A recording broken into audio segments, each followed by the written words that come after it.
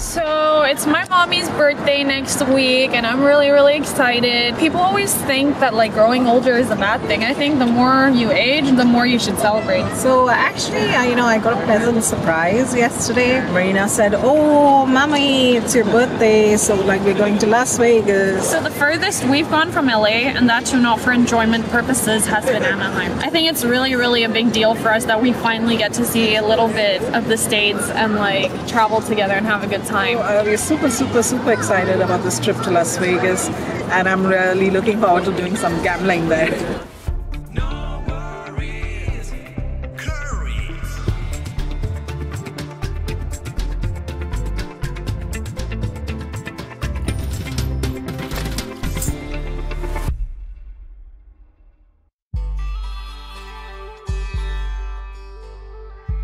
Hi, so welcome to episode 9 of No Worries Curry, and today we are cooking the world famous chicken tandoori. Do you want to talk a little bit more about tandoori?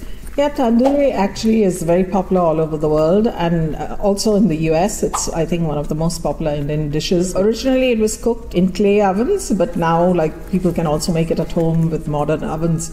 A little bit about the history it goes back to the Middle East, and because the Mughals used to cook chicken in this style and in big clay pot ovens, and that's how, like, you know, many of the Indian kebabs or tandoori dishes have remained like that. So without further ado, let's go and make some chicken tandoori for you.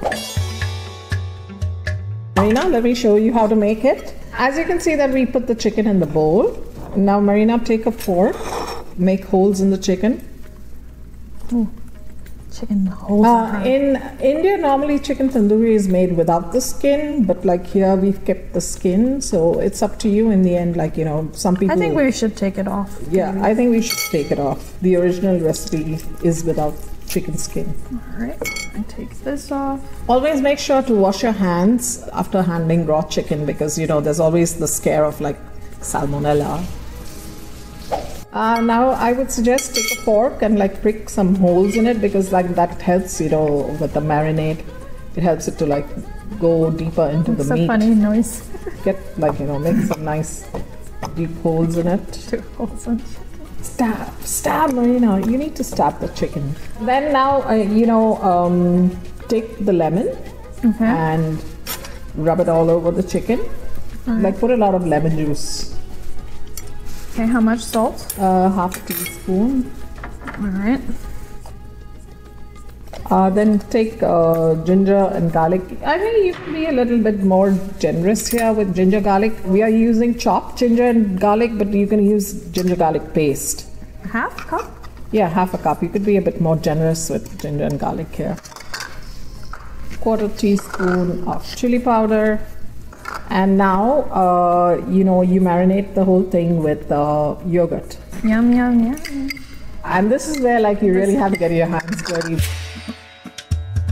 Come on, get cracking, Marina. Sometimes, uh, like, people put food coloring, like, you know, to make it that nice red color. But we're not gonna We are not it. going to do that. I think we just put a little bit more of chili powder to make it a bit red. So here's the chili powder.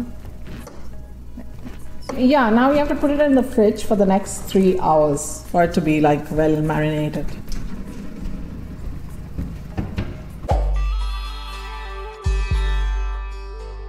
Now that the chicken's in the fridge, it's time for an icebreaker. Ooh, I love icebreakers. What's like a very traditional like Indian drink? I've, I've realized that we haven't explored that part of Indian food and beverage. Uh, in very popular Indian drink is lassi, which is also popular everywhere uh, globally. It's a yogurt drink. It's basically mixed with yogurt. You can put any kind of flavor. Like you can actually put it into a blender, yogurt and like uh, berries or mangoes in mango season, and then you blend it and you put in some sugar, uh, ice cubes, and then like you have your The lassi right in front front of you. Okay, so now Marina, uh, three hours are up. You have to get the uh, chicken from the fridge and like we have to put it into the oven. Yeah, preheat the oven for 10 to 15 minutes. And we're ready to go. Oh, you have to keep it around like maybe 40 minutes in the oven or till you know you feel that the chicken is like tender. So it's been 40 minutes and it's time to take the chicken out of the oven. Yes. I would recommend getting gloves because I don't want to burn my hands.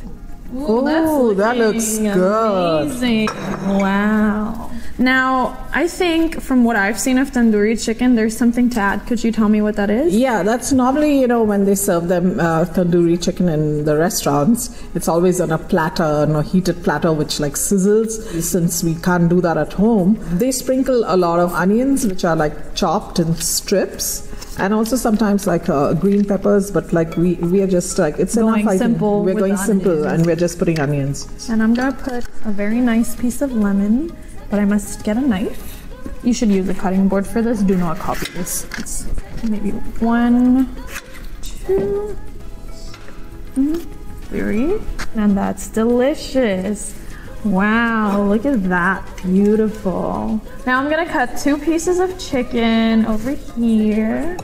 The struggle is real, but we're looking good. Mom, why don't you take that piece? Okay, And I will take another little piece. Mm, that was really good. I'm really proud of us. Like we've made some mm, amazing This food has on the been show. so good. Oh my god. Go and make your no worries chicken tandoori and enjoy the rest of your day. While you're at it, take a picture and let us know how it comes out on Instagram. Bye.